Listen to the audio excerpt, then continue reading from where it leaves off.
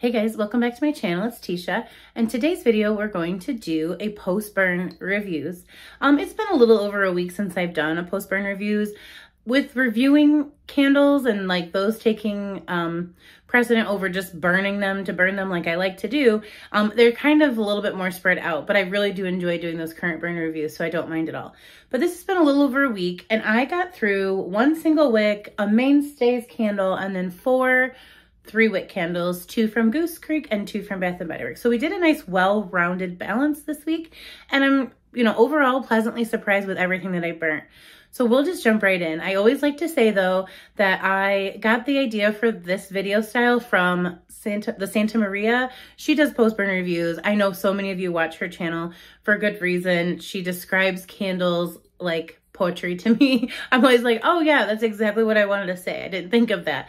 Um, so I really do enjoy it. And I thought it was so smart to talk about candles after their entire life so that we can talk about their performance overall. She does different categories than I do. I just like to talk about, you know, how it burned, if I would, you know, if I would buy it again, um, what was the throw? And I mean, so it's kind of similar, but I do not try to copy exactly. So we'll just jump right in. So my single wick that I burnt through this week was a Goose Creek marshmallow sugar. And I'm going to tell you, I bought this like at the beginning of the year and I just loved to uh, sit and smell this on cold. It was a delicious marshmallow with that. You could almost like smell the granulated sugar mixed in. Like um, the little label's cute. It's got like almost like a marshmallow fluff on the front. And I just really enjoyed sitting and smelling this candle. But I just decided one day I wanted to burn it and see what it was like. And, you know, for the most part, let's talk about it. The jars on a single wick, you know, I don't know. I don't always walk away with the cleanest burn. Um, I don't mess with them too much as long as they keep burning. I, you know, like this extra wax and stuff. I don't really tend to like do anything with like the tin foiling stuff. I just let them go. Um, they're usually a bathroom or a hallway candle for me. But this one was quite a lovely scent and it burnt. I'm, I'm pleasantly surprised with how far away I could smell this candle. It was just like I had sprayed some type of like pink sugar or like a cotton candy, like cotton candy clouds on me. But I was like walking through the house. I would just get a hint of it as I like walked by the little area of the house it was in. But for me, that's a pretty decent throw for a single wick. So I would absolutely repurchase this one. Um, it's just a nice, sweet, sticky sweet, like marshmallow scent. Sorry, friends, I got a call. So the next candle I want to talk to you guys about is the second one I picked up from Mainstays in the Krispy Treats scent, which is absolutely like a dupe for Fruity Pebbles. And this one, the scent's pretty much gone. That's what I ended up with. Looks like a fidget spinner in there. Um, and, uh, but it didn't do too bad. It burnt really quickly. Um, I will say this probably only took me two days to go through, two or three days. And, um, at first I could really smell the scent of the crispy treats, but as time went on, I really couldn't smell anything and I was just burning it to be done with it. Um, I don't know that I absolutely love the mainstays in this style of jar because if I don't have like a wick dipper or something, I have to figure out a way to put these out without like blowing it out, which is not my preferred method of uh, extinguishing a candle. So I just like something with a lid. That way, if I have no other choice, I just put the lid on it to make sure that it's extinguished. This one was always just something I had to go find. I just need to get myself a decent set. The set I got, um, the order got canceled. Like it just got canceled. It was like shipping and I got canceled and I got my money back from Amazon. So I'm gonna like look for another set and make sure it's not coming from another country. Cause like I said, I waited like two months and I like inquired about it. And then they were like, oh, uh, that order was canceled. Here's your refund. No, no, like, why did it take two months type of thing. So I did have a set coming with like the little dipper and the little scissors and stuff. And then, yeah. So I don't know if it was like damaged or something in the, in the transit. I'll have to look for another set. However, so I don't have a wick dipper. I know you can use like tweezers and stuff, but um, that's probably my biggest complaint and why I wouldn't say that I'd recommend this is that the scent was burnt out of it before the halfway point. I really couldn't smell anything after that. It's like the fragrance oil just burns completely out. And then, like I said, putting it out, especially when it gets down there, is a little bit hard. Okay, so now let's move into the Goose Creek three wick candles I burnt through.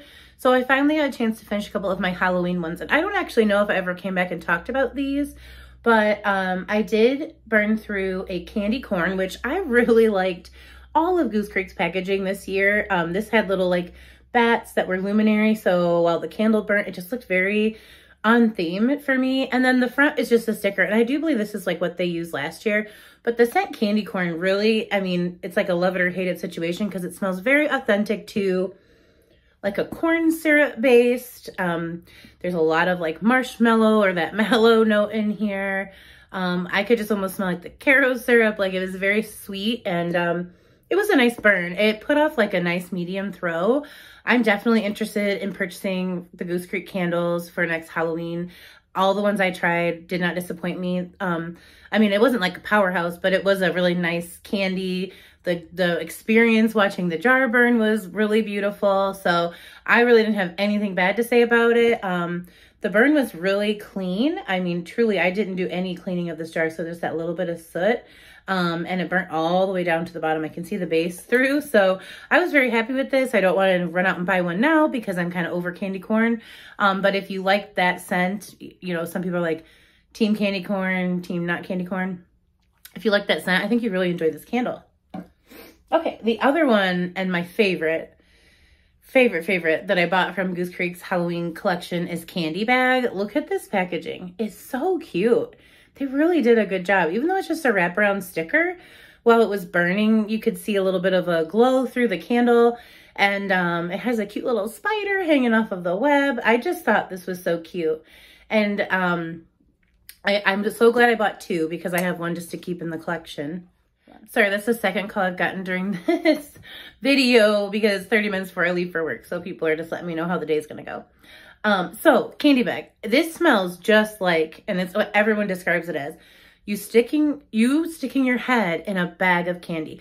I got little bits of like a fruity tart starburst moment, a little powdered sugar, almost like I could smell like suckers in here where like it's that certain type of sugar and, um, and then a little hint of chocolate like how much you could smell a candy bar through the packaging. It was so nice. And it didn't smell anything like candy corn. So it wasn't just like candy or sweetness. Um, but yeah, you could almost smell a little bit of a fruity note in here. I thought this was really like original and super unique and I really, really enjoyed it. So this is definitely one, if they still have it on the website and it's a really good deal, this is one I would probably buy even though Halloween's come and gone just to have on hand in case they don't decide to do it next year. But I definitely think they will because this was a very popular one. Scent uh, throw was really nice. I mean, definitely a medium, like a solid medium um, in a big room. I had this burning in my living room, which was like a nice open concept space. And I didn't have to get right up to the candle to smell it. So I was pleasantly surprised with the throw because it was just like sugar and fruit and a little bit of like, but yeah, I just, I don't know how they captured that essence of you going trick-or-treating and like if you smelled the bag of candy, it had a little bit of everything in there. And this was just so nice. So I highly recommend this one out of everything I burnt so far. This is the only one that I say, if that sounds appealing to you or something you'd like to try, this is definitely worth the order if they still have it on the website because they do clearance out their candles and then that's gone till next year. Okay, so all we have left are Bath & Body Works candles. I did burn through a spiced cranberry toffee. This was kind of a fun collection. It came out right, like, I don't know if it was called like the Thanksgiving collection, but it was like a five set can five set of candles.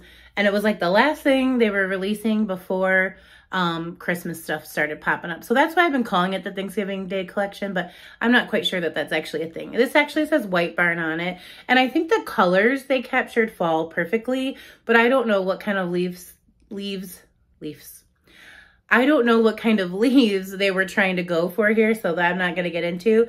The notes were rich toffee, fresh cranberry swirled with caramel. And let me tell you, I struggled to smell the toffee in this candle the entire burn, although um, I really enjoyed it. It was just mostly cranberry for me with a hint of caramel. And I don't think of caramel, when I smell caramel, it doesn't make me think that's the toffee. Like toffee to me, I want to smell something buttery, a little burnt almost, like, uh, you know, maybe caramelized, but not caramel. Caramel is its own thing. It could be a part of a cake or a cupcake or a frosting or, you know, whatever. So just smelling the caramel didn't make me think, oh, that's the toffee. I want a toffee to be separate. And so let me know down below if you burnt spiced cranberry toffee and you smelled the toffee. But I digress on that. I'm just saying I really was struggling. I was like, no, I don't smell anything buttery, candy-like. It was just a really nice cranberry and then mixed with some caramel. Cranberry caramel is not something I would normally think of went together, but I really did enjoy this and I'm super glad I have a backup. Um, would I recommend this for you? You know, this is a very fall version of cranberry. It doesn't give me anything Christmassy, which cranberry is one of those things that I do feel like belongs in a lot of Christmas scents, but this was a nice fall version. So if, you know, some of the Christmas scents don't really call to you, this may be something you like, but I have to know if anyone else got toffee out of this because that was what I was so excited about. Um, and then the lid was super cute. I did want to say it's got a nice little leaf lid. I might um, keep that one just because I do like to keep a few, um, yeah, because it's still looking good on the inside. Um, cause I like to keep a few lids on hand just in case we have a shortage. But ever since I've been saving lids, we haven't heard of anything coming down. So I'm thinking the shortage is over. Um, so I do enjoy this candle, but I did not get any toffee. So it's zero out of 10 on the toffee. 10 out of 10 on the experience though, because I really thought it was a nice mix of caramel creaminess with the fresh tart cranberry. So, and it was a really nice throw. I would say this is medium, a solid medium throw. But I don't need them all to be strong. I do like a strong candle, but every once in a while, like I like to mix too, so I don't want them to be too strong. So that one worked really well and I could have mixed it with a lot of things. The last candle we have for the week, like I said, I had a very good burn week is Sweet Kettle Corn in the same collection, and I don't know the name of it, but kind of like that Thanksgiving release with Spiced Cranberry Toffee. This was one of those candles we were like, ooh, have they done this before? Um, it's freshly popped kettle corn, creamy caramel, sprinkled with sugar, and sea salt. And this was my favorite burn of the week because Oh my gosh, I got all of that in this candle. When I first started Sweet Kettle Corn, it was just like a buttery popcorn experience. I wasn't getting the sweetness, like for the first three burns, maybe even halfway through the candle. I was like, oh, there's not really a kettle corn, because kettle corn to me is too sweet. I don't actually enjoy kettle corn as a snack, um, but I have a lot of family members that will buy like the pop bags for the microwave, so I smelled it a lot, but it's almost too sweet for me. I like a buttery popcorn. Um, but I do like caramel corn, um, or I like the caramel and cheese mixed together. Um, so there's a lot of different things I do like, but kettle corn is really sweet. So for it to say sweet kettle corn, I was like, this is going to be really sweet. And at first it was just a buttery popcorn scent to me. Um, and then I was starting to get the caramel and the sugar and the salt. Like I would get the sweet and then I would get the like neutralized salty, almost like I could taste it, um, as it was burning. Now this I would say was a high. It wasn't a powerhouse, but this was a very good throwing candle. And it just kind of made everything smell like someone had just made a bag of popcorn and some type of baked good, um, you know, basically like a sweet bag of popcorn. Um, so it wasn't anything basic to me. It was actually quite unique for my collection. I didn't have anything like it um, before, and I did back this up with one, but I really enjoyed this burn. So let me know down below if you tried this one, because for me, out of the ones I tried, this was a lot more unique than the Spice Cranberry Toffee. And when I bought them, I thought the opposite. I was like, I'm going to love this and this one will be just okay. And as I burnt them, and that's why I like to do these videos, this one actually became like, I was actually sad for this one to be done. Like I kept relighting it and putting it on the warmer and now it's all like sooty and stuff and it's done. Um, but it was just, just kept giving me scent. So I just kept using it. So, um, yeah, I mean, and now I can kind of tell that it had been on my warmer a few days and it's kind of done but it was still really good. It still, it still smells nice. And so that is my last candle for this week. I'll be done rambling now. Thank you guys so much if you watched to this point.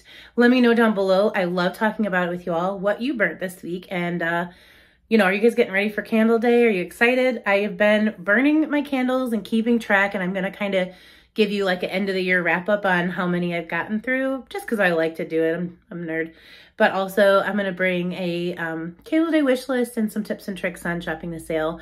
So um, look forward to that. That'll be within the next week for sure because it's coming. It's coming fast. But yeah, other than that, thank you guys so much for watching and take care of yourselves. I'll see you in a video very soon. Bye.